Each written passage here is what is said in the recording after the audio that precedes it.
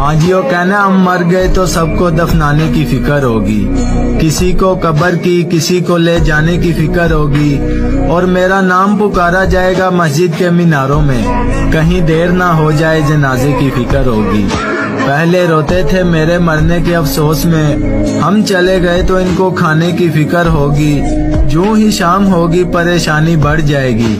कितने मेहमान आ गए, सुलाने की फ़िक्र होगी।